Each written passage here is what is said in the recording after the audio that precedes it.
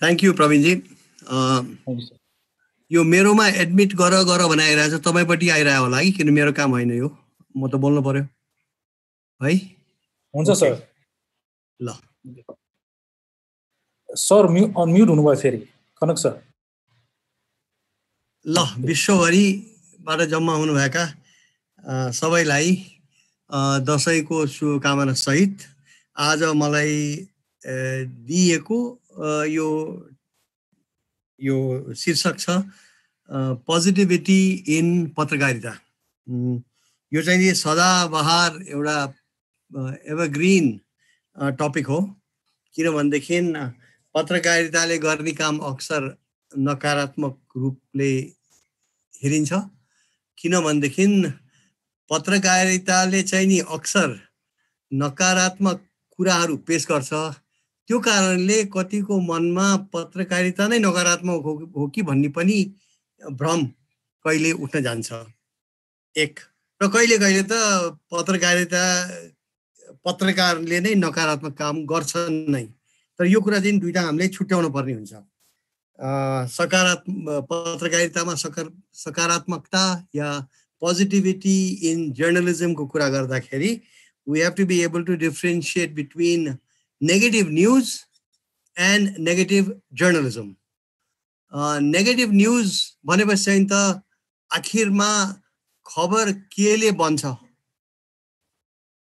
मानिसहरूलाई के सुन्न चाहन्छन्? नयाँ कुरा सुन्न चाहन्छन् होइन? दिनानुदिनको चाहिँ नि भइरहेकै कुराहरू सुन्न तपाईँ हामी पनि चाहँदैनौँ। म्यान बाइट्स डग न्युज हुन्छ। डग्स बाइट्स म्यान न्युज हुँदैन। तसर्थ पत्रकारिता चाहिँ नि मानिसहरूको नयाँ कुरा जान्ने या नयाँ विचार सुन्ने चाहनामा आधारित हुन्छ। त्यो चाहनाबाट पत्रकार पर जान सक्दैन र अक्सर पत्रकारले गर्ने भनेको काम तसर्थ खोतली खोतली पाटाहरू कि समाचार सम्प्रेषण गर्ने मानिसहरूले नसुनिरहेको कुरा नदेखिरहेको कुरा खोतलेर निकालेर पेस गर्ने त्यो हो तथ्य जानेसम्मको तथ्य पेश गर्ने या कुनै एउटा नयाँ मोडको विचार पेस गर्ने। भन्नुको अर्थ ओपिनियन या एनालिसिस जसलाई चाहिँ नि तर्कको आड लिनु पर्यो। मनगणन्ती एनालिसिस गरेर भएन। सो मलाई लाग्दछ पत्रकारिता यी दुईवटा यो स्फियर्सको बिचमा अडेको हुन्छ। एकातर्फ तथ्य एकातर्फ तर्क। तथ्य जम्मा पार्नेले न्युज रिपोर्ट गर्छ तर्क तर्क जगेर्ना गर्नेले ओपिनियन गर्छ। र कहिले कहिले दुइटा मिसिन्छन् पनि कुनै न कुनै न्युज रिपोर्टमा। त यी दुईवटा कुरा राम्ररी गर्ने हो भनेदेखि खबर चाहिँ नि या लेखको विषय नेगेटिभ मानौँला हामीले किनभने कुनै एउटा पाटो समाजको हाम्रो राज्य व्यवस्थाको हाम्रा नागरिकहरूको हाम्रा समुदायहरूको नकारात्मक पाटो उजागर गर्दछ। उदाहरणको लागि अहिले चर्चामा आइरहेको र सदा सधैँ जहिले पनि चर्चामा आइराख्ने बलात्कारको विषय। केटी नानी महिला माथि हुने जघन्य एउटा खालको अपराधको बारेमा न्युज आउँछ भनेदेखि त्यसलाई हामीले सकारात्मक खबर तर नकारात्मक विषय भन्न बाध्य हुन्छौँ। त्यसैले हामीले यसरी छुट्याउन गयो भनेदेखि एक त पत्रकारिताको बारेमा पनि हामी सोच्न बाध्य हुन्छौँ कि जहिले पनि नेगेटिभ कुरा गर्छ यो पत्रिका भन्दाखेरि हाम्रो पत्रकार पत्रिकाहरू भन्दाखेरि हाम्रो समाजमा विकृतिहरू बढ्दो छ भनेदेखि पत्रकारले गरोस् के? त्यो कभरेज गर्नु बाहेक। तसर्थ म यो कुरा राखौँ तपाईँहरूको सामु कि सकारात्मक पत्रकारिता भनेको के? त्यसलाई परिभाषामा अलिकति अलिकति बदल बदलिदिउँ। कसैको मनमा सकारात्मक पत्रकारिता भनेको चाहिँ नि मिठो मिठो राम्रो राम्रो सुन्नमा मिठो नयाँ नयाँ कुराहरू मात्रै कभरेज गर्ने हो भनेदेखि त मलाई लाग्छ मेरो परिभाषाको पत्र सकारात्मक पत्रकारिता त्यो होइन।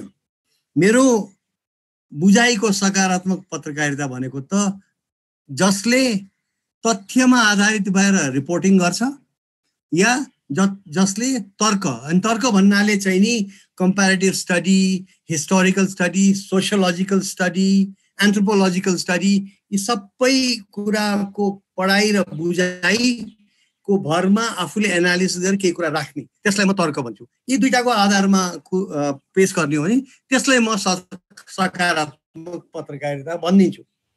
अब अहिले किन त सबै कुरा नेगेटिभ छ भन्ने कुरा आउन सक्ला? त्यसको पहिलो कुरा चाहिँ नि do not blame the messenger मेसेन्जरलाई blame त पक्कै गर्नु हुँदैन। किनभनेदेखि उसले त भएको कुरा पेस गर्ने हो। मुलुकमा अहिले केपी ओलीको सरकारको सरकारले राज्य व्यवस्था राम्ररी सञ्चालन गरेन भनेदेखि भनौँ बिजुली गाडीलाई चाहिँ नि को चाहिँ नि कस्टम्स रेट एकदम चाहिँ नि उकालिदिएर चाहिँ नि नेपालको एउटा खालको राम्रो इलेक्ट्रिक मोबिलिटीतर्फको हाम्रो यात्रालाई ड्याक्कै ब्रेक लगाइदिएको कुराको बारेमा हामीले कभरेज नगर्ने हो भनेदेखि त्यो चाहिँ नि सकारात्मक पत्रकारिता भएन। त्यस्तै समाजमा भएका विकृतिहरू जस्तै दलितमाथिको अत्याचार महिलामाथिको चाहिँ नि डरलाग्दो एउटा समाजमा नै पहिलादेखि चलिआएको र अहिले बढ्दै गएको भनिएको एउटा चलन र विशेष गरी बलात्कारको चाहिँ एउटा ट्रेन्ड यसलाई कभरेज गर्न गर्नु नै पर्ने भयो यो त धर्मको कुरा नै भयो। अब मलाई आफूलाई के लागिरहेछ भनेदेखि फेरि हाम्रो सोसाइटी धेरै ट्रान्सपरेन्ट र ओपन भएको उपज पनि हो न्युज बाहिर आउनु। एउटा र नकारात्मक न्युज बाहिर आउनु। त्यसैले नकारात्मक हामीले नकारात्मक मान्ने न्युज बाहिर आउँदाखेरि हाम्रो पत्रकारिता बिग्रियो भन्न सकिन्छ। मेरो विचारमा त्यो होइन। एउटा समाज बिग्रियो भन्न सकिन्छ। मेरो विचारमा केही हदसम्म त्यो सही होला तर त्योभन्दा पनि अर्को एउटा पाटो पनि छ। एउटा अधिनायकवादी समाजमा कुरो बाहिर आउँदै आउँदैन।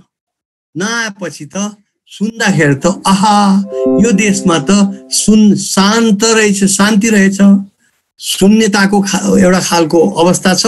तर बाहिर खबर नआउँदाखेरि त यहाँ चाहिँ नि कन्ट्रोल न्युज बाहिर आउँदाखेरि त त्यो समाजमा हुने विकृतिहरू बाहिर नआउँदाखेरि त एउटा बाहिरको मान्छेले हेर्दाखेरि त वाह नेपाल कस्तो साङ्ग्रिला। नेपाल त जानै पर्ने देश रहेछ। सबैजना हाँसी खुसी बसेका रहेछन्। भन्ने हुन्छ। तसर्थ यो अर्को एङ्गल पनि मैले यहाँहरूको सामु पेस गरेँ कि नेपाल अहिले दक्षिण एसियामा म किटेर भन्न सक्छु अहिले दक्षिण एसियामा सबैभन्दा ओपन सोसाइटी हो। सबैभन्दा ओपन सोसाइटी भएको नाताले यहाँको मिडिया तुलनात्मक रूपमा है तुलनात्मक रूपमा दक्षिण एसियाको अरू सोसाइटी भन्दा बढी खुला छ। तसर्थ हाम्रो पत्रकारिता पनि अन्यत्र भन्दा बढी फ्री भावनाले पत्रकारले कभरेज गर्न पाएको छ। कतिपय ठाउँमा मान्छेहरू अहिले पत्रकारहरूले लुकी लुकी हिँड्नुपर्ने अवस्था छ। त्यो अवस्था नेपालमा कहिले पनि फर्केर नआओस् भनिकन हामीहरू सजग हुनुपर्छ। हालसालैसम्म पनि एउटा खालको अभियान भएको थियो पत्रकारितालाई चाहिँ नि गुम्साएर राख्ने। मलाई लाग्दछ हामी फेरि चाहिँ नि हामी फ्रिडम अफ एक्सप्रेसनमा त फर्क फर्केर जान सक्दैनौँ भन्ने हो भनेदेखि अहिले हामी श्रीलङ्कालाई हेरौँ हेरौँ। पाकिस्तानलाई हेरौँ बङ्गलादेशलाई हेरौँ र इन्डियालाई हेरौँ। त्यत्रो लोकतन्त्रको आदर्श फ्री प्रेसको आदर्श भनिने इन्डियामा अहिलेको हाल पत्ला छ भनौँ हिन्दी शब्द प्रयोग गरौँ। त यस सन्दर्भमा नेपालको आजको विषय मैले कसरी जोड्दैछु भन्दाखेरि नेपालमा अहिलेलाई पत्रकारिता खुला र स्वस्फूर्त अगाडि बढ्न सक्ने अवस्था भएको हुनाले यहाँ कभरेज हुन्छ। त्यो कभरेज पत्रकारले पत्रकारले चाहिँ नि आज दिनमा सबै कुरा राम्रै चल्यो भनेर बनाउँदा भन् यदि प न्युज पेस गर्ने हो भनेदेखि पहिलो कुरा त तपाईँ हामी नै सुन्दैनौँ त्यो न्युज। किन त्यसमा नयाँ कुनै नयाँ के भन्छ एलिमेन्ट हुँदैन तत्त्व हुँदैन। तसर्थ के के भइरहेछ धेरै कुरा नकारात्मक हुन्छ त्यो पेस हुन्छ। त्यो पेस गर्न हामी फ्री छौँ। फ्रिडमको एउटा आँकडा पनि हो। फ्रिडम अफ एक्सप्रेसनको आँकडा। न्युज नकारात्मक न्युज बाहिर आउनु। अब एउटा पाटो चाहिँ मैले यति भनिसक्दाखेरि राख्नै पर्ने हुन्छ। पत्रकार मध्ये पनि सबैजना सोझा र सिधा त हुँदैनन्। त्यस्ता व्यक्ति व्यक्ति र कहिले कहिले संस्थाहरूले गर्ने पत्रकारितालाई चाहिँ नि सकारात्मक पत्रकारिता कुनै पनि हिसाबले भन्न मिल्दैन। भन्नुको अर्थ या त असक्षम रिपोर्टर र समाजशास्त्र नपढेको एनालिस्ट। त्यस्ताहरूलाई ठाउँ दिएर पाठकहरूलाई भुलभुलैयामा पार्ने दर्शक श्रोतालाई भुलभुला भुलभुलैयामा पार्ने या चाहिँ नि गलत समाचार फेक न्युज सम्प्रेषण गरेर आक्रोशित बनाउने त्यस्तो खालको न्युजलाई त पक्कै पनि हामीले सकारात्मक पत्रकारिता भन्नै मिल्दैन। यस्तै गरिकन पत्रकारितामा तसर्थ नकारात्मक पत्रकारिता कुन हिसाबले हुन्छ त भन्दाखेरि अघि मैले भने मैले मेरो मेन थिम मैले भनिहालेँ कि पत्रकारिताको कामै नयाँ तथ्यपूर्ण तर्कपूर्ण कुराहरू पेस गर्ने र अक्सर पाठक श्रोता दर्शकलाई नयाँ कुरा चाहन्छन् र नयाँ कुरा विशेष गरी विकृतिको कुराहरू चाहिँ किनभनेदेखि त्यो विकृतिको कुरा त्यसको खिलाफमा विचार निर्माण गर्न सकिँदैन। त्यो मेरो एउटा मेन थिम त्यही नै यहाँपट्टि म पत्रकारिताको नेगेटिभ पक्षहरू र त्यस पछाडि केही सोसियो इकोनोमिक विचारहरू पनि पेस गरौँ। त मैले अघि जुन कुरा भने पत्रकारहरूमध्ये क्षमता नै नभएको रिपोर्टलाई तपाईँले एउटा एसाइनमेन्ट दिनुभयो भनेदेखि उसले नबुझी लेखिदिन्छ त्यसबाट सक्छ। एक भन्नुको मतलब अब कसैले चाहिँ नि नेपालको टुरिज्म क्षेत्र या नेपालको अब नेपालको सडक मार्गको बारेमा रिपोर्टरलाई एउटा सम्पादकले जिम्मा दिन्छ। उसले नबुझिकन आउँछ नबुझेको कुरा लेख्छ लेखेर कति कुरा बिग्रिन्छन्। त्यसलाई सकारात्मक पत्रकारिता कसरी भन्नु? त्यो एउटा एक्सट्रिममा छ भनेदेखि अर्को सम्पादक र जसलाई हामी डेस्क भन्छौँ। सम्पादकले पनि आएको कुरालाई प्रस्तुतिमा बुझेर अलिकति गहिराइमा म जहिले पनि भन्ने गर्छु थर्ड लेभल अफ रियालिटीमा पहिलो लेभल जसले पनि देख्ने दोस्रो लेभल मात्र रिपोर्टिङ तेस्रो लेभल चाहिँ या ट्रेन पछाडिको गहिरो कुराहरूलाई बाहिर ल्याउँदिने थर्ड लेभल थर्ड लेभलमा जान लिएर जानुपर्ने जिम्मा एडिटोरियल डेस्कको हुन्छ। त्यो क्षमतै नभएको डेस्क भयो भनेदेखि एउटा संसार नबुझेको संसारको ऐतिहासिक क्रम छेउछाउका समाजहरूको उत्पत्ति नेपालकै उत्पत्ति नेपालको इतिहास नेपालको समुदायहरूको अवस्था स्थान यावत कुराहरू सोसियल इकोनोमिक पोलिटिकल कल्चरल यी सबै कुरा बुझेको व्यक्तित्व त्यसमा बस्नुपर्छ। अनि मात्रै रिपोर्टरले अक्सर ल्याउने गरेको र मेटेरियललाई माझेर तथ्य तथ्य र तर्क मा बुझिकन पेस गर्दछ। त्यस्तो नगर्न सक्ने पत्रकारले पेस गरेको कुरामा कहिले पनि हामीले सोचेको जस्तो कुरा आउँदैन। यो दुईवटा कुरा भए रिपोर्टर र एडिटरको क्षमता तर त्योभन्दा पनि बढी बढी नकारात्मक पत्रकारिता कहाँ हुन्छ भन्दाखेरि जब पूर्वाग्रही हिसाबले आमदानी कमाउने हिसाबले पत्रकारले ब्ल्याकमेल गर्न थाल्छ।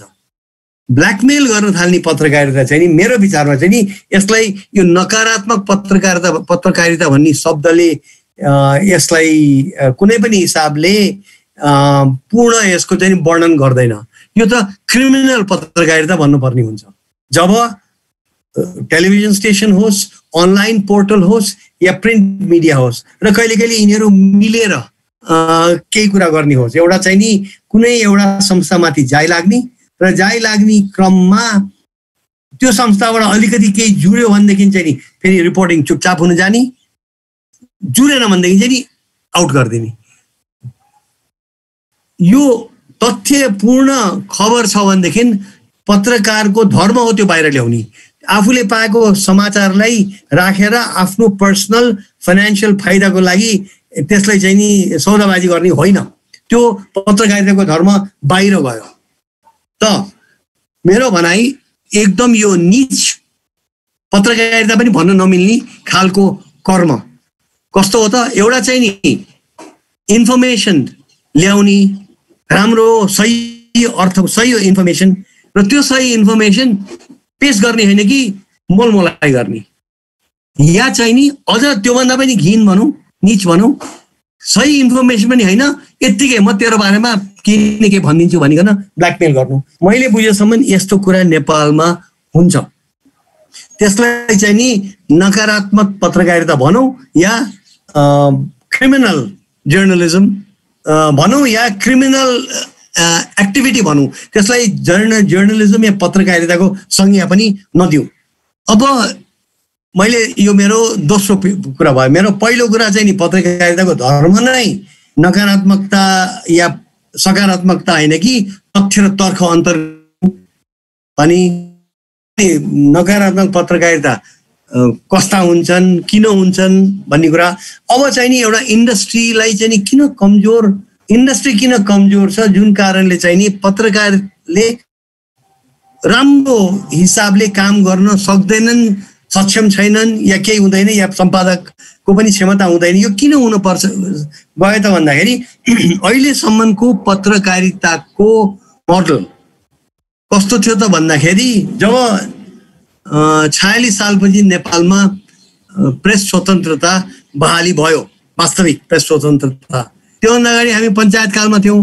पञ्चायतकालमा प्रेस स्वतन्त्रता थिएन। त्यसैले हामीले विकासे पत्रकारिता धेरै गर्थ्यौँ। जस्तै कसै कसैले आज आएर सकारात्मक पत्रकारिता पनि भन्लान्। तर छयालिस सालपछि चाहिँ नि जेन्युन पत्रकारिता गर्न हामीले थाल्यौँ। त्यसमा लड्दै पढ्दै सिक्दै अगाडि बढेका हौँ। सबै कुरा राम्रो भएको छैन।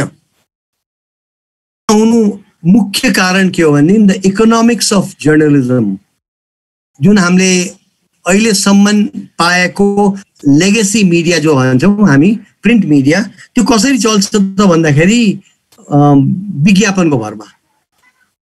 पत्रिका लोकप्रिय भइदिन्छ।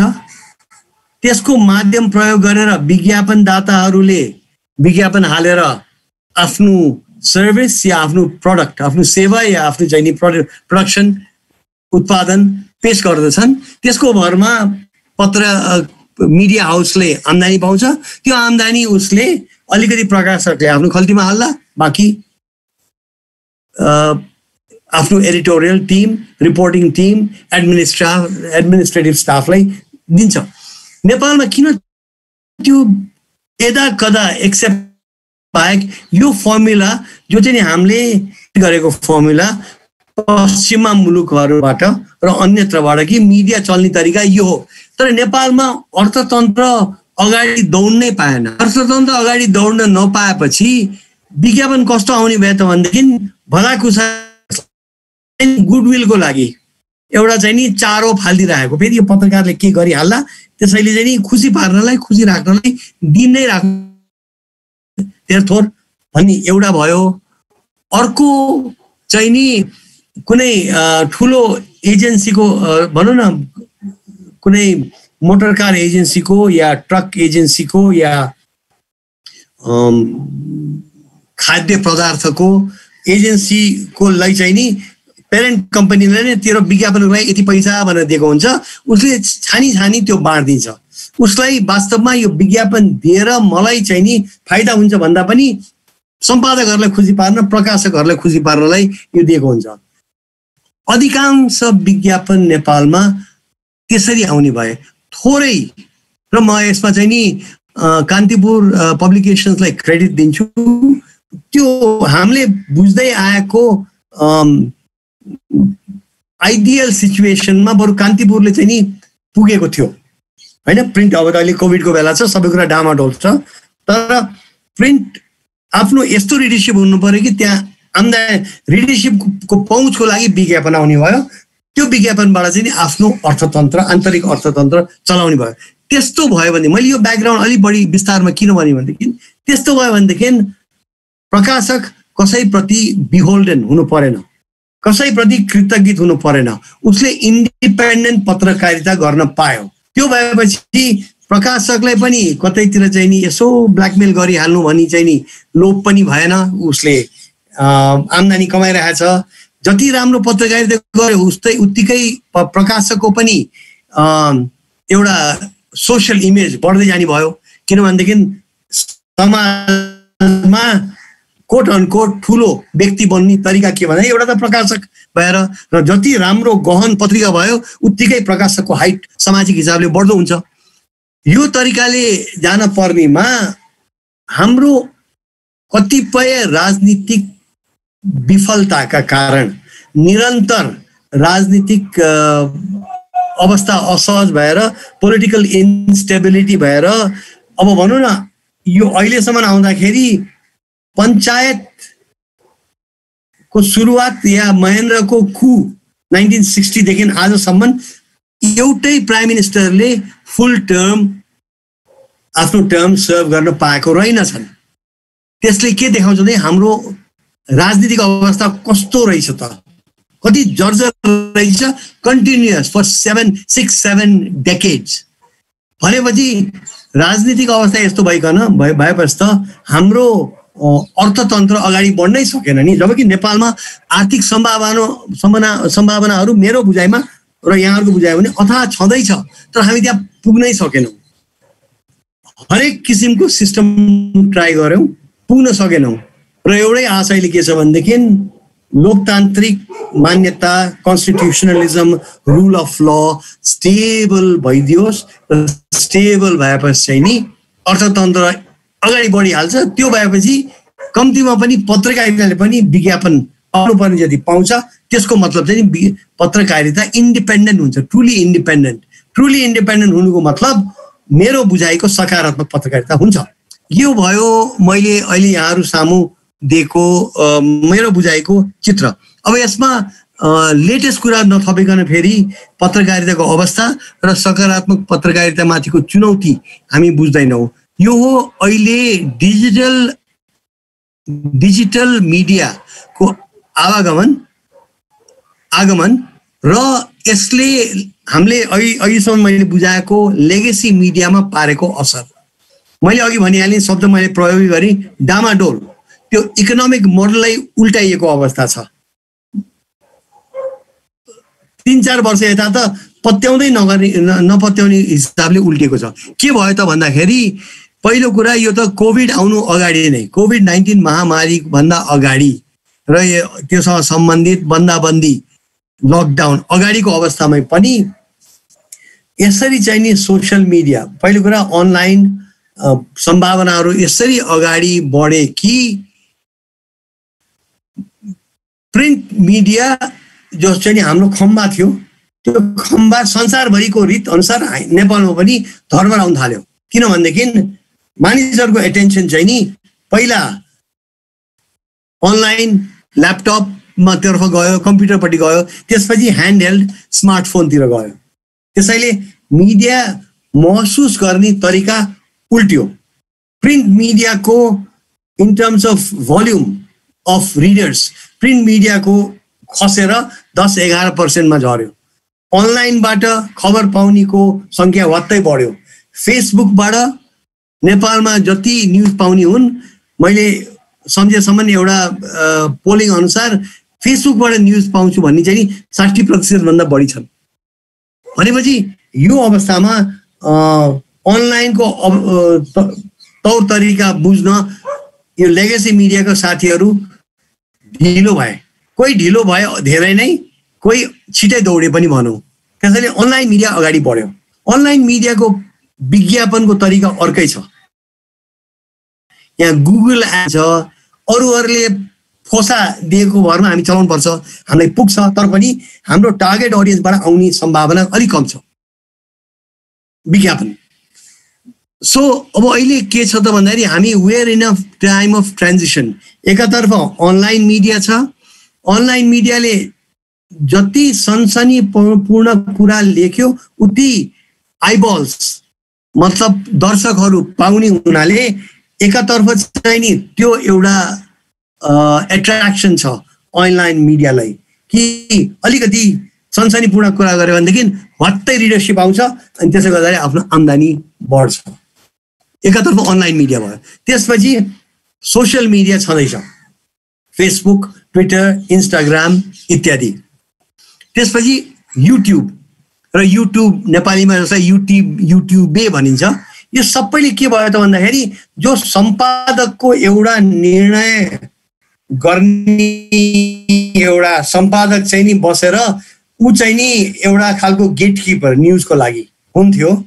उसको रोल एकदम घटेर गयो। उसको रोलको उसको चाहिँ महत्त्व घटेर गयो। किनभनेदेखि दुईवटा कुरा अहिले भन्नुभयो एक किसिमले एकदम सकारात्मक कुरा भएको छ कि democratization of news production democratization of opinion production जसले पनि बिना खर्च एउटा प्रोफाइल बनाए भयो फेसबुक खोले भयो जता गए पनि भयो जे भने पनि भयो र त्यसले गर्दाखेरि एक लेभलमा राम्रो डेमोक्रेटाइजेसन भएको छ। र अर्को लेभलमा जो चाहिँ नि यो मैले त्यसैले यसलाई एउटा टाइम अफ ट्रान्जिसन भन्छु। जसले जे गरे पनि भएको छ। यसले गर्दाखेरि एउटा लेगेसी मिडियालाई कमजोर बनायो। जत्तिकै लेगेसी मिडियाको पुरानो कमजोरी आफ्नो ठाउँमा हुँदाहुँदै पनि उसमा अलिकति पनि रेस्पोन्सिबिलिटी एकाउन्टेबिलिटी हुन्थ्यो। त्यो एकाउन्टेबिलिटीको हुँदाहुँदै अरूले बल लिएर दौडिसक्यो। सोसियल मिडिया युट्युब ले दौडिसक्यो। अर्को अनलाइन मिडियामा फेरि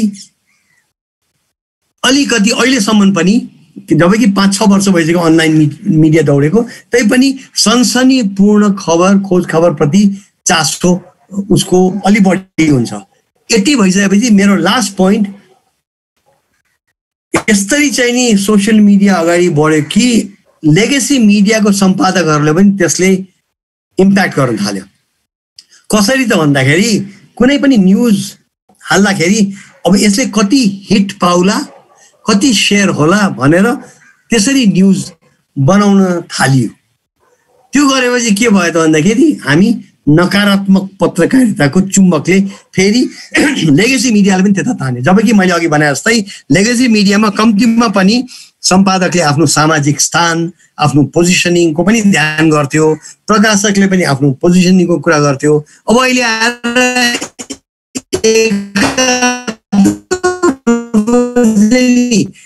त्यो लेगेसी मिडियाको रोलै कमजोर भइसक्यो। किन तपाईँ हामी सबै आफू पनि त ट्विटरमा जान्छौँ आफू पनि फेसबुकमा जान्छौँ कसले के भनेको छ भन्ने मिनट मिनटमा आधा आधा मिनटमा चेक गर्छौँ। अब सम्पादक पनि हामीले भने जस्तो जत्तिकै चाहिँ नि भनौँ न they are human like you and me उनीहरूलाई पनि असर पर्छ। र मेरो भनाइ के भने तसर्थ सोसियल मिडियाको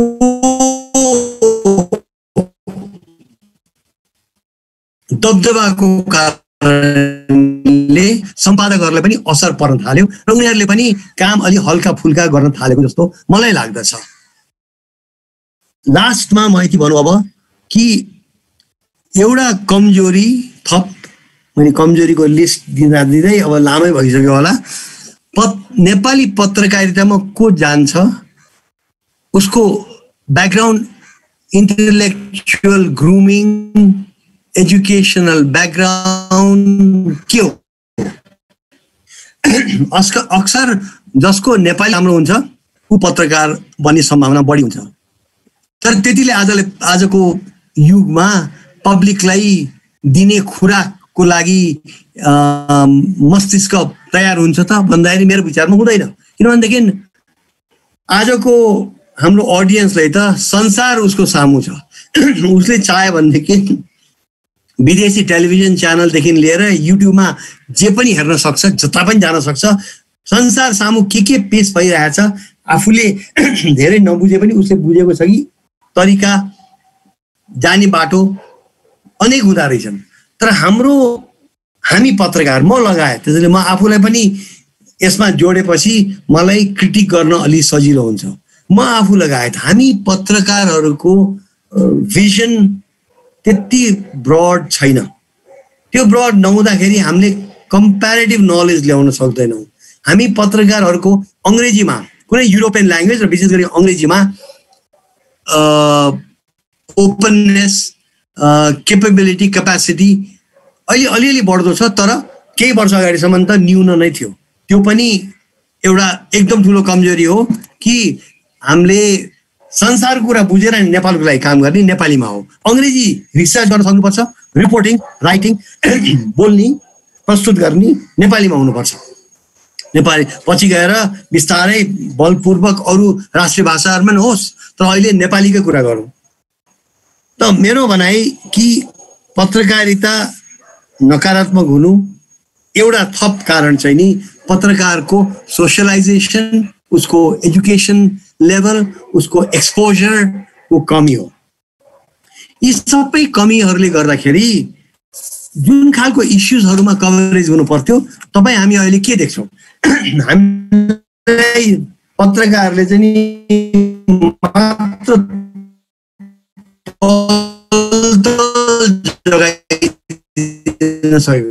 जनतामा जतिको रुचि छ राजनीतिमा त्यति अरूको छैन होला। तर त्यसको कारण अर्को काउन्टर इन्टिभेटिभ कारण पनि छ।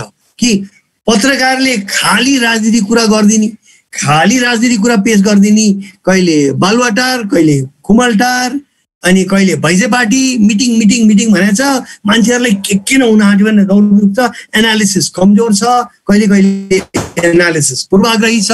कम्तीमा पनि पोलिटिकल साइन्स हिस्ट्रीले इन इन्भेस्ट गरेको चाहिँ कभरेज छैन न सम्पादकको छ न रिपोर्टरको छ भनेपछि त पब्लिकलाई चाहिँ नि एकदम एक खालको नसा एक खालको चाहिँ नि प्रतिबन्धित भनौँ न अब्जेक्ट पदार्थ चाहिँ नि खुवाएको जस्तो भइरहेछ। कि पब्लिकको पनि अब आदत परिसक्यो कि पोलिटिकल न्युज मात्रै सुन्ने। त्यो गर्ने क्रममा अघि मैले भनेको विभिन्न कारणले गर्दाखेरि नेपालमा पत्रकारिताले दिन सक्ने भेराइटी दिन सकेका छैन। पोलिटिकल कुरा गरिदिए कि पाठक आइहाल्छ भनेर पोलिटिकल कुरामा जान्छ। जब कि अब मैले अहिले हेर्दाखेरि नि कभरेजको हिसाबले कति कुराहरू अहिले एकदम महत्त्वपूर्ण छन्। पोलिटिक्सको वरिपरिकै कुरा गरौँ। अहिले त इकोनोमीको कुरा नगरौँ। भनौँ न समाज संस्कृति इतिहास यावत कुरा कुरा नगरौँ। खालि पोलिटिकलकै पोलिटिक्सकै वरिपरिको कुरा गर्ने भए पनि अहिले यदि हामीले नेपालको राजनीतिक कभरेजको कुरा गर्ने हो भने त्यसको सँगसँगै प्याराडलमा पोलिटिकल कभरेज अन्तर्गत ह्युमन राइट्सको कभरेज गर्नुपर्ने थियो। एक। दोस्रो सङ्क्रमणकालीन न्याय ट्रान्जेसनल जस्टिसको कभरेज गर्नुपर्ने थियो। त्यस्तै हामीले संविधानवादको कभरेज गर्नुपर्ने थियो। त्यस्तै रुल अफ लको कभरेज गर्नुपर्ने थियो। त्यस्तै हामीले समावेशिता संविधानले हामीलाई जे जे कुरा चाहिँ नि अगाडि बढ भनेर ठाउँ दिएको छ जो कुरा भइरहेको छैन समावेशिता भनेको गभर्मेन्ट अपोइन्टमेन्टमा समावेशिता। मेरो बुझाइमा यी सबै कुरामा हामीहरू अहिले जान पर्नेमा हामी चाहिँ नि उही भैँसे पार्टी ट्रायङ्गल भैँसे पार्टी के अरे खुमलटार बालुवाटारको ट्रायङ्गलमा दौड्या। कहिले कन्सेन्ट्रिक कहिले anti concentric counter country counter clockwise जाने गरेका छौँ। सो म अब अहिले मेरो लास्ट कुरा यति भनौँ कि हामीलाई अहिले पपुलिजमले खाएको छ। सबै कुरा चाहिँ नि राम्रो देखिने राम्रो देखाउने एउटा म त यसलाई अझ भन्छु एकदम एक्सट्रिम लेभल अफ अल्ट्रा पपुलिजमले खाएको छ। मुख्य कुरा यो सोसियल मिडियामा जल्दी खाउँ छिटै मरौँ। होइन? या छिटै मरौँ जल्दी खाउँ जे भने पनि हुन्छ। यो अवस्थामा पुऱ्याइदिएको छ हामीलाई सोसियल मिडियाले हामी ट्रान्जिसनमा छौँ। सोसियल मिडियालाई हामीले कसरी महसुस गर्ने भन्ने कुरा आम जनताले पनि भर्खर पहिलोचोटि बुझ्दैछ। र यो संसारभरिको क्रम हो नेपालको मात्रै होइन। मेरो आश के छ भन्दाखेरि छिटै नै हामीले यो भ्याल्युज अफ गुड जर्नलिजम जो लेगेसी मिडियाले केही हदसम्म प्रयोग गरेको थियो तर उसले पनि अहिले छोड्दै गएको छ। त्यो सबै कुरालाई समेटेर अहिले आउँदो दिनमा अनलाइन न्युज मल्टिमिडियामा चाहिँ नि एकदम राम्रो तरिकाले ओपिनियन मेकरको हिसाबले प्रस्तुत हुने क्रेडिबल मिडिया अगाडि जाओस् नन क्रेडिबल मिडिया पछाडि जाओस् र यो खालको उतल पुतल चाहिँ नि अहिले नेपालमा मात्रै नभए हामी अरूलाई सिको गर्ने होइन कि? हामी अरूभन्दा अगाडि सिकौँ त भनेर अगाडि बढ्नुपर्ने हो कि जस्तो लाग्छ मलाई। यति भनिकन मेरो अन्तिम पोइन्ट यही हो कि हामीले पत्रिकाहरूले नकारात्मक न्युज पेस गर्छन् भनेदेखि त्यसलाई हामीहरू चाहिँ नि let's not consider that as नकारात्मक पत्रकारिता। जसलाई जसले फटाइ गरिकन चाहिँ पत्रकारिता गरे हुन्छौँ भन्छौँ तिनीहरूलाई पत्रकार पत्रकारै नभनौँ तर let's not blame the messenger मेरो कुरा यति रह्यो। नमस्कार। Kanak sir thank you thank you very much म एकचोटि आफ्नो स्पोर्टलाई भिडियो गर्दै। ओके सरलाई धेरै धेरै धन्यवाद। एउटा एकदम नलेजेबल एकदम इन्साइटफुल इन्फर्मेसन हामीलाई सेयर गर्नुभएकोले अभियसली अब डिजिटल मिडिया सोसियल मिडियाले गर्दा पावर धेरै दिएको छ हामीलाई। Common man is lot powerful Bingu बराजीले भने जस्तै मि मिडियाको कुरा छ त्यसमा। But it seems we are lot lots to learn and अझै धेरै लामो बाटो कभर गर्नुपर्ने छ र अब चाहिँ हामीले प्रोग्राम अझै अगाडि बढाउँदै एउटा इन्फर्मेसन पनि दिन चाहन्छु। आज हामी अलिक छोटो समयमै वेबिनार व्यापक गर्ने भएकोले क्वेसन एन्सर सेसनमा हामी जाँदैनौँ। त्यसैले चाहिँ अब यो पश्चात आजको कार्यक्रमको समीक्षाको लागि म सर्वप्रथम सरलाई फ्लो ओपन गर्दैछु। सरलाई मैले स्पटलाइट भिडियो गर्दै सर। सर नमस्ते। कनक दाईको यो मिठो यो भनौँ न यो के भनौँ यसलाई यो यो विषयमा उहाँले जुन फोकस पान दिनुभयो त्यसलाई चाहिँ धन्यवाद दिँदै म एक दुईवटा कनक दाईले अघि अन्त अन्ततिर भनेको कुरालाई फोकस म गर्न चाहन्छु।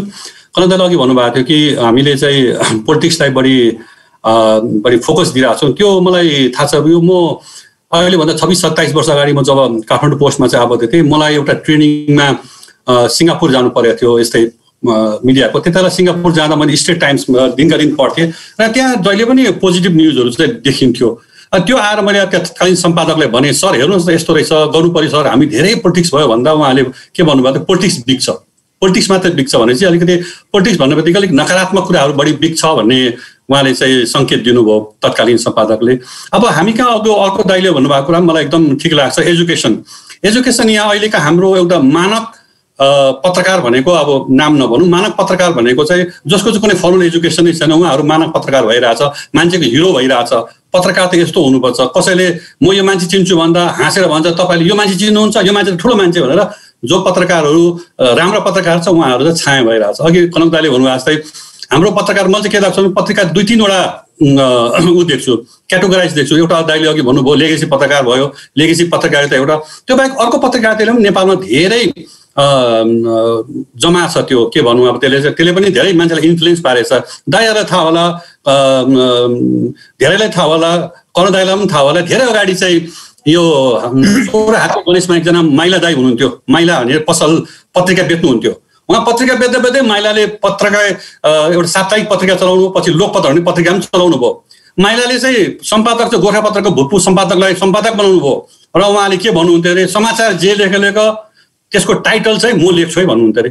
टाइटल जहिले पनि नकारात्मक। किनभने माइलालाई थाहा थियो नकारात्मक टाइटल लेख्यो भने मेरो पत्रिका बिक्री हुन्छ। ऊ त प्रकाशक। त्यस्तो खालको एउटा एउटा ट्रेन्ड चाहिँ हाम्रो नेपालमा आएकोले गर्दा त्यो जुन तरिकाले चाहिँ त्यो ट्रेन्ड अगाडि बढ्यो त्यसले चाहिँ एउटा नकारात्मक एउटा सूचनाहरू चाहिँ हामी माझ आउन थाल्यो। हाम्रोमा एउटा के कमी कमजोरी रह्यो भन्दा म पनि सात वर्ष जति मेन स्ट्रिम पत्रिकामा काम गरेँ के आयो भन्दा हामीले अनुसन्धान नगर्ने। हामीले टेलिफोनको भरमा कसैलाई सोधेको भरमा एउटा समाचार बन्ने। त्यो समाचारले जहिले पनि एउटा नकारात्मक कुरा दिइरहेको हुन्छ। किनभने फर्स्ट टाइम किन जोसँग उसले फोनमा कुरा गर्छ त्यो मान्छेको इन्ट्रेस्टमा मात्रै त्यो उसले समाचार बन्न पाउँछ। जस्तै ऊ चाहिँ स्थलगत चाहिँ रिपोर्टिङ गर्नेहरू एकदमै कम छ। एकपल्ट कनक दाईहरूले नै सुरु गर्नुभएको थियो होला। इन्भेस्टिगेटिभ जर्नलिजम भनेर एउटा सायद दाईहरूकै लिडमा चाहिँ त्यो नेपालमा फर्म भएको छ उहाँहरू चाहिँ विभिन्न ठाउँमा गएर धेरै कुराहरू एक्सपोज गर्नुभएको थियो। त्यस्तो एक्सपोज गर्ने चाहिँ धेरै कम छ। किनभने कस्तो हुन्छ भन्दा पत्रकारमा समस्या के हुन्छ भन्दा हामी म पत्रकारमा चाहिँ तिमीले दिनमा एउटा रिपोर्ट ल्याउनुपर्छ अथवा दुई दिनमा एउटा रिपोर्ट ल्याउनुपर्छ भने अब कोही कोही चाहिँ रिपोर्ट चाहिँ सकारात्मक रिपोर्ट ल्याउनलाई अलिक समय पनि लाग्छ। एक हप्ता लाग्ला दस दिन लाग्ला तर पत्रकार पत्रिकाको सम्पादक अथवा पत्रिका चलाउनेले त्यो मान्दैन। तिमीलाई म दस दिन कहाँ दिन सक्छु? त्यो रिपोर्ट ल्याउनलाई तिमीले त दिनका दिन रिपोर्ट ल्याउनु त्यो जागिर हो भन्दा मान्छे जहिले पनि प्रेसरमा पर्छ। अर्को कुरो के छ भन्दा हाम्रो पत्रकारिता भनेको अहिले चाहिँ धेरै तलब तलब खाने। एउटा श्रमजीवीमा पर्छ। त्यसले गर्दा एउटा एक त फाइनेन्सियल बर्डन भइरहेछ दोस्रो कुरो चाहिँ दिनमा एउटा जसरी भए पनि रिपोर्ट चाहिँ बुझाउनु पर्छ भन्ने हिसाबले गर्दा पनि एउटा चाहिँ जुन सकारात्मक समाचारहरू सम्प्रेषण हुनु पर्यो त्यति समाचारहरू सम्प्रेषण भइरहेको छैन। अघि कनक दाईले नै भने जस्तै अहिलेको त सोसियल मिडियाले धेरै अगाडि बढिसकेको छ मान्छेले समाचार अहिले फेसबुकमा हेर्छ। र फेसबुकमा कस्ता खालको समाचार आउँछ भन्दा शीर्षक एउटा हुन्छ भित्र गयो भने त्यसको समाचारको कन्टेन्ट अर्को भइरहेको हुन्छ। किनभने अब अहिले चाहिँ यो फेसबुकले त मलाई थाहा भएन युट्युबहरूले को कोले चाहिँ तपाईँको चाहिँ त्यो क्लिकमा अथवा सेयर गरेमा अथवा यसले चाहिँ उनीहरूको आफ्नो आमदामीको स्रोत बनिरहेछ र यसमा चाहिँ दुई चारजना मान्छेहरू चाहिँ अघि दाइले कनु दाइले भन्छ युट्युबेहरू युट्युबे भन्छन्। अब युट्युबेहरू चाहिँ हिरो भएर भइरहेछन्। मेरो घरको परिवारमा चाहिँ राम्रो पत्रकारको नाम छैन तर दुई चारजना नाम नभनौँ युट्युबेको नाम मेरो परिवारका सबैलाई चाहिँ कन्ठै छ। तर राम्रा पत्र कनक दाई जस्तो पत्रकार अथवा राम्रा प्रतीक प्रधान अथवा नारायण वाग्लेहरू चिन्दैनन् तर त्यो युट्युबे पत्रकारहरू मेरो फ्यामिलीले चिन्छ अहिले। मेरो सानो बच्चाले पनि चिन्छ ठुलोले पनि चिन्छ। किनभने तिनीहरूको प्रभाव दिनदिन छ। किनभने मैले घरमा पत्रिका ल्याउँछु। कसैले घरमा पत्रिका पढ्दैन म पनि यसो आजकल चाहिँ अलिक शीर्षक मात्रै पढ्न थालिसकेको छु। के हेर्छ भने बिहानै सबै चाहिँ म उठ्ने बित्तिकै म उठ्नुभन्दा अगाडि नै आज यस्तो यस्तो भएछ भनेर फेसबुक हेरेर मलाई चाहिँ समाचार दिनेछ।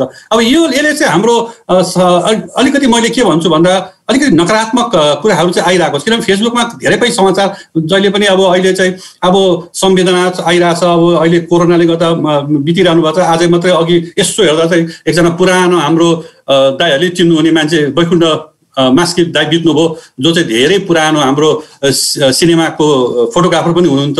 मनको बात फिल्मको चाहिँ उहाँ चाहिँ सिनेमा सिनेमाटोग्राफर पनि हुनुहुन्थ्यो उहाँ बित्नुभयो यस्तो यस्तो समाचारहरू हामी चाहिँ अब यो फेसबुक मात्र आइरहेको छ कि अब अरू पत्रिका चाहिँ पहिला पहिला चाहिँ लेगेसी पत्रिकामा दाइले अघि भन्नु लेगेसी पत्रिकामा चाहिँ तेह्र दिनमा मात्रै थाहा हुन्थ्यो मान्छे मऱ्यो किनभने त्यो आउँथ्यो एउटा संवेदना आउँथ्यो अनि मात्र थाहा हुन्थ्यो। अब चाहिँ हुनेको चाहिँ दस मिनटमा आउँछ। यसले चाहिँ अब एक किसिमको नकारात्मक सन्देशहरू चाहिँ हामीमा आइरहेछ। अब यो नकारात्मक सन्देशले गर्दा मान्छेलाई अलिकति अब अहिले हाम्रो जनजीवनमा पनि धेरै फरक परेको छ तपाईँहरूले हिजो मात्रै अस्ति सुन्नुभयो एकजना मान्छे कोरोना लागेको भने सुन्ने बित्तिकै तिन घन्टामा बित्नु पऱ्यो। त्यो के हो भन्दा उसलाई यो यति धेरै सोसियल मिडियाले फिड गरेको हुन्छ कि कोरोनाको त्रास चाहिँ उहाँ चाहिँ त्यो हार्ट एट्याक भएर बित्नु भयो अरे यस्ता यस्ता समाचारहरूले चाहिँ अलिकति नकारात्मक समाचारहरू चाहिँ आइरहेको हुन्छ। मलाई अर्को के मन लाग्छ कहिलेकाहीँ सकारात्मक समाचार पनि अब कहिलेकाहीँ नकारात्मक जस्तो भइरहन्छ। एउटा इक्जाम्पल दिउँ हजुरलाई। अहिले भन्दा चार पाँच दिन छ सात दिन अगाडि नै अक्टोबर सत्रमा चाहिँ देखि चाहिँ विदेशी पर्यटकहरू नेपाल आउनुपर्ने र चाहिँ सात दिनको यी कुराहरू छापेको थियो। तर दुईवटा लिड पत्रकारले के भनेको थियो त्यो अब खारेज भयो है। अक्टोबर सत्रको त्यो कुरा खारेज भयो त्यो तपाईँको क्वारेन्टाइनको र उहाँले तिर्नुपर्ने पाँच हजार डलर बराबरको इन्सुरेन्स पनि भयो भनेर उहाँहरूले बकाइदा फ्रन्ट न्युज बनाउनु भयो तर त्यो लागु भएन। किनभने त्यसले गर्दा पनि सकारात्मक न्युज त दिन खोज्नु भयो त्यो पत्रकार साथीहरूले त्यो पत्रिकाले। तर अहिले आएर त्यो अन्तर्राष्ट्रिय रूपमा त गयो किनभने अहिले त त्यो नेटबाट अथवा वेबसाइटबाट विभिन्नबाट बाहिर गयो। बाहिर यसले नकारात्मक सूचना दिएको सकारात्मक तर बाहिर गयो नकारात्मक सन्देश गयो। के भन्दा ए नेपालमा त झुटो बोल्दो रहेछ। नेपालमा त कमि पत्रकारितामाथिको जुन क्रेडेन्सियल पत्रकारितामाथिको विश्वासमा पनि शङ्का उठ्यो। दिन खोजेको त्यो पत्रिकाले एकदमै सकारात्मक समाचार हो। तर समाचार निस्किँदा नकारात्मक समाचार भएर आयो। त्यसले गर्दा मलाई लाग्छ हाम्रो समाचारहरू दिन चाहिँ अलिकति बढी अघि मैले सोर्स चाहिँ अलिकति स्ट्रङ सोर्सहरू अथवा हाम्रो त अब दुईजना मान्छेको कुरालाई लिएर समाचार बन्ने त्यो पनि लेगेसी मिडिया अघि हजुर दाइले कनक दाइले भनेको लेगेसी मिडियाले छापेको यो समाचार हो। यो अरू मिडियाले होइन। यस्तो इस्टाब्लिस मिडियाहरूले पनि यस्तो समाचारहरू दिँदा अब त्यो मिडियाले चाहिँ समाचार दिने होडमा सकारात्मकै समाचार दिने होडमा नकारात्मक समाचारहरू पनि बनिरहेको हुन्छ। त्यसले गर्दा हामीले समाचार दिँदा अघि कुन दाइले भने जस्तै धेरै सोच विचार र अब अबको पत्रकारितामा सरकारले त कमसेकम पनि ग्रेजुएट त हुनुपर्छ पत्रकार हुनुपर्छ भनेर चाहिँ भने हो तर त्यो पनि अब लागु हुन सकेको छैन किनभने विभिन्न कारण। त्यसले गर्दा अहिले जुन पत्रकारितामा जो अहिले आइरहनु भएको छ जो साथीहरू नयाँहरू उहाँहरू चाहिँ अघि कलङ्काले भने चाहिँ नेपालीको ब्याकग्राउन्ड भएर छ अङ्ग्रेजी बुझ्दैनन्। मैले कतिपयलाई चाहिँ अङ्ग्रेजीमा पर सर नेपालीमा पठाइदिनुहोस् न हाम्रो त यहाँ नेपालीमा चल्छ भन्छ। तर समाचार चाहिँ अब अन्तर्राष्ट्रियकरण भइरहेछ ग्लोबलाइजेसन भएछ न्युजहरू चाहे सकारात्मक चाहे नकारात्मक। तर हाम्रो साथीहरूको त्यो एप्रोच नहुँदा कहिलेकाहीँ सकारात्मक समाचारहरू पनि नकारात्मक भएर आइरहेको हुन्छ हाम्रो किन त्यो बुझाइको कमजोरी गर्दा। त्यसले गर्दा मलाई कस्तो लाग्छ भन्दा अघि कनक दाइले भन्नेकै कुरा जोड दिन्छु। उहाँको दाइले जति भन्नुभयो ती कुराहरूलाई चाहिँ हाम्रो पत्रकारिता क्षेत्रले चाहिँ मनन गर्नुपर्ने त्यसलाई गर्नुपर्ने। र अब जुन चाहिँ लेगेसी मिडिया भनौँ त्यो लेगेसी मिडियाले पनि अब चाहिँ अब सोसियल मिडिया मार्फको चाहिँ जुन चाहिँ सिको गरेर उहाँहरूले पनि अब अलिकति आफूलाई चुस्त राख्नु पर्यो। आफूलाई चाहिँ कम्पिट गर्नु पर्यो। अब कम्पिट नगर्ने हो भने पत्रिकाको अस्तित्व धेरै खतरा नै हुँदै जान्छन्। त्यही कारण अबको आगामी चुनौती के हो भन्दा अब चाहिँ एकदमै पत्र पत्रिकाले चाहिँ आफूले चुस्त दुस्त राखेर सकेसम्म समाचारलाई राम्रोसँगले हेरेर मात्रै दियो भने मलाई लाग्छ धेरैभन्दा धेरै सकारात्मक समाचारहरू आउँछ। ती नकारात्मक समाचारलाई पनि प्रस्तुतिमा सकारात्मक कुरोहरू दिन सक्छ जस्तो लाग्छ मलाई। जस्तै मैले पनि अहिले एउटा रेडियो टुरिज्म भन्ने एउटा सानो खोले खोलेको छु। दाइले भने चाहिँ यो चाहिँ हामी युट्युबमा त गएको छैनौँ छ तर हामीले चाहिँ फेसबुक मार्फत गइरहेको छौँ। हाम्रो उद्देश्य चाहिँ कर्ण भन्नुभएको थियो कर्ण को चाहिँ सकारात्मक सोचबाट नै प्रभावित भएर म र एकजना साथी भएर खोलेको छौँ सानो लगानीमा। हामीले चाहिँ खालि सकारात्मक समाचार मात्रै दिने भन्ने हाम्रो हामी कुनै पनि नेगेटिभ समाचार नदिने भनेर हाम्रो जुन रेडियो टुरिज्ममा नेगेटिभ टुरिज्ममा नदिने सकेसम्म के अरे पोलिटिसियनलाई चाहिँ को कुरा नराख्ने सकेसम्म ब्युरोक्राटको कुरा नराख्ने खालि व्यवसायको कुरा मात्रै हामी सम्प्रेषण गर्ने व्यवसायलाई मात्रै देशको विभिन्न ठाउँको व्यवसायलाई मात्रै जोड्ने भन्ने उद्देश्यले हामीले यो रेडियो टुरिज्म पनि खोलेका छौँ। यो चाहिँ एउटा सकारात्मक सोचको उपज हो। हामीले चाहिँ लाग्छ अबको चाहिँ दिनहरूमा चाहिँ यस्ता खालको मिडियम हामीले यो चाहिँ एफएम चाहिँ लाइसेन्स चाहिँ हामीले अहिलेभन्दा सात आठ वर्ष अगाडि एप्लाई गरेर नपाएपछि एउटा फ्रस्ट्रेसनले गर्दा हामी अब अनलाइन मिडियामा गइरहेको छौँ। हामीले एफएम पाएनौँ। रेडियो टुरिज्म भनेर दर्ता गरेको थियौँ एफएम। त्यो एफएम नपाएपछि अब हामीले चाहिँ यसलाई चाहिँ अनलाइनमा गयो। हामी यो चाहिँ एउटा के भन्दा एउटा सकारात्मक समाचार मात्रै दिउँ एउटा राम्रो समाचार मात्रै दिउँ भन्ने उद्देश्यले खोलेको। मलाई लाग्छ आजको दस मिनट चाहिँ मैले पुरा जस्तो लाग्छ। प्रवीण भाइ म यति भन्दै यो मेरो कुरा यहीँ राख्न चाहन्छु। धन्यवाद। Sir sir thank you thank you very much म एकचोटि फेरि स्पोर्टलाइट भिडियो भित्र ल्याउँदै ओके हजुर। सर सरलाई धेरै धेरै धन्यवाद समीक्षाको लागि एकदमै राम्रो समीक्षाको लागि।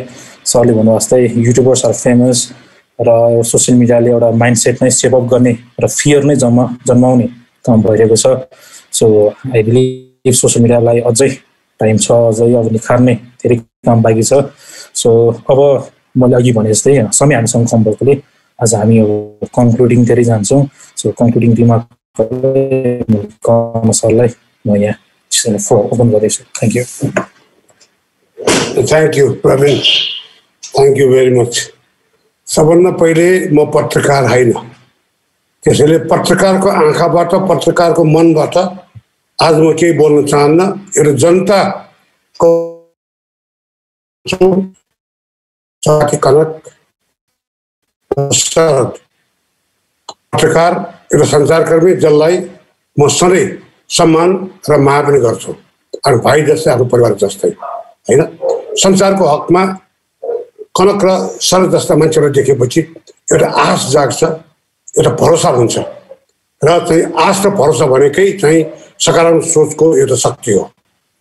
म एउटा जनताको हैसियतले म यहाँ के गर्नु के भन्न मलाई मन लाग्छ भने यो गुस्ताफ फ्लबर्ट भन्ने एउटा चाहिँ फ्रेन्च फिलोसफर छ उसले के भन्छ भने there is no truth in the world there is only perception संसारमा विज्ञानमा मात्रै चाहिँ जीवन चार भन्ने तथ्य होला। अन्यथा सबै सत्य छैन पर्सेप्सन र सोच मात्रै हुन्छ। भने जस्तै मलाई पनि कहिले काहीँ यही लाग्छ कि चाहे तपाईँको ज्ञान विज्ञान होइन बाढ यो तपाईँ बाढहरू क्यापिटलिजम यी सब कुराहरू सब मान्छेको मन घरन्ते सोच विचार र दर्शनबाट आएको एउटा दर्शन एउटा मान्छेलाई सत्य हुनसक्छ त्यही दर्शन अर्कोलाई असत्य हुनसक्छ। त्यसैले ऊ के भन्छ भने there is no truth there is only perception भने जस्तै अझ हाम्रो देशमा त खास गरिकन होइन यो शिक्षित जनता कम भएको अभिकेसनमूलक भएको हुनाले यो देशमा जुन एउटा हामी कन्सपिरेसी थ्योरीको जुन एउटा चाहिँ म्याग्निट्युड छ त्यो हामीले यति त्यो चलाइराख्यो होइन? कहीँ कहीँ दरबार काण्डको कुरा गर्छ होइन? मान्छे मरेको हो कि होइन त्यसमा कुरा गर्छ अनि कहिलेकाहीँ चाहिँ के के के कम्युनिस्टको एउटा महान नेताको के? त्यो खसेर जुन चाहिँ नदीमा खसेर मऱ्यो त्यसको पनि अहिलेसम्म पत्ला